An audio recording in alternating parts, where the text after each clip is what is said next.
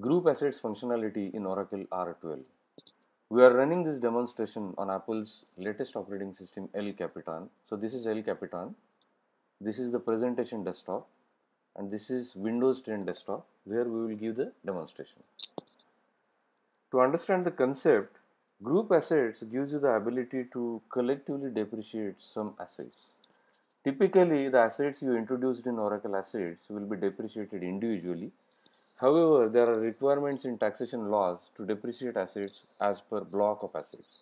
Block of assets means several assets can be grouped together and the total cost of the assets will be depreciated and individual depreciation will not be maintained.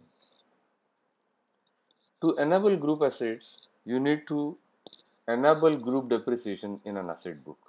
So you have to go to an asset book, navigate to asset system, book controls, query your book.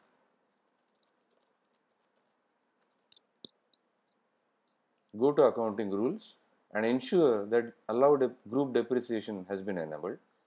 Also enable all the options below allow group depreciation.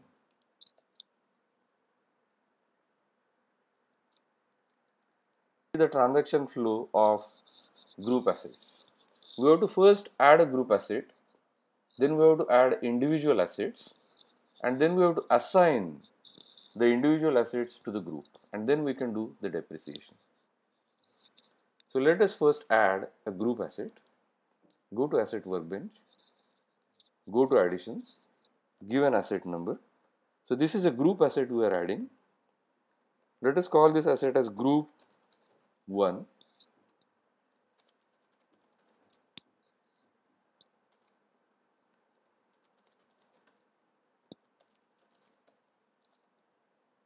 Give a category, select an asset key, select group as asset type and click on continue. Give a book,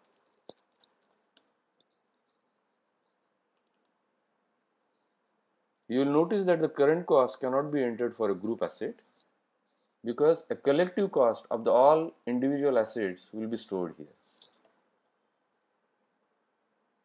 Continue this.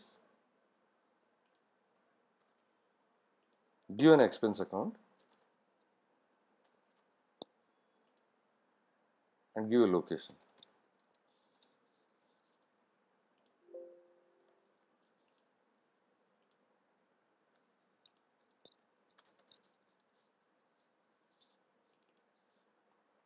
Click on done. The group asset has been created. Now you can create individual assets. Let us say tower 1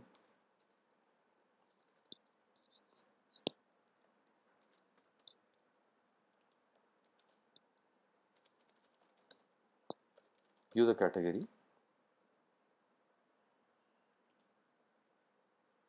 asset key keep the asset type as capitalized now continue give a corporate book enter asset cost 100,000 click on the group asset tab and select the group.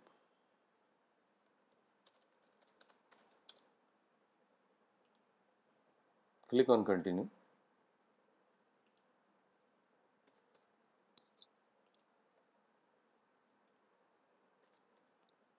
Give an expense account and a location.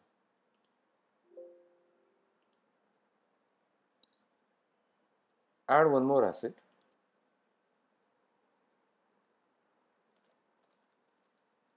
Let us say tower 2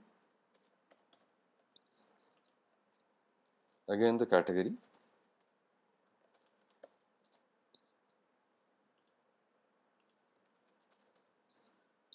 Keep this capitalized continue. So we created a group asset, we added one individual asset to the group, now we are adding second asset to the group, 200,000 as the cost. Again go to group tab, assign this asset to the group.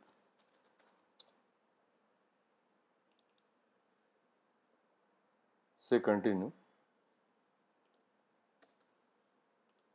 Give a location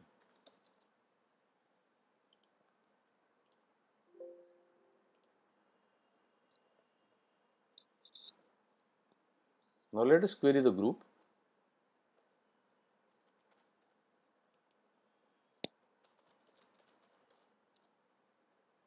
Group 1 this is the group we created. Go to books. And you will notice that the current cost has been accumulated for all the individual assets within the group. We added one asset for 100,000, second asset for 200,000 and now the group cost is 300,000. Let us see the individual assets.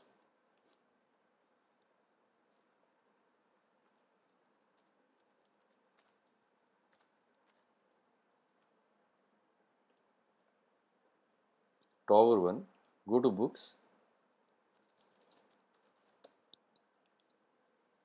This is the individual.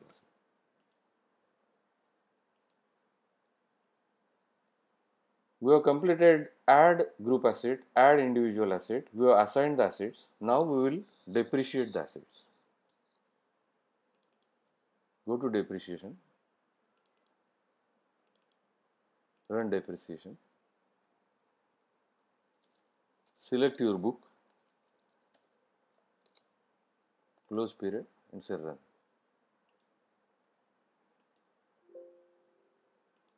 View the requests and allow the depreciation run to complete. Once the depreciation is completed successfully,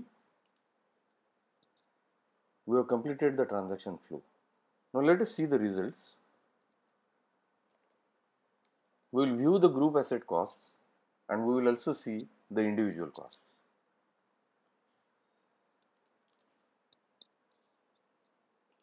Navigate to assets workbench and query the group.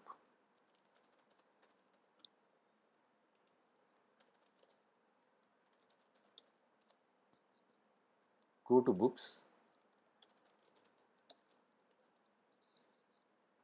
you will see that the depreciation has been accumulated at the group level.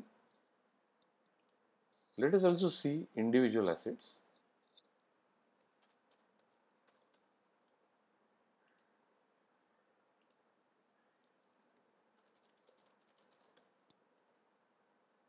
The individual asset YTD depreciation and accumulated depreciation is 0 as the depreciation is being maintained at the group level, it will not be maintained for the individual assets.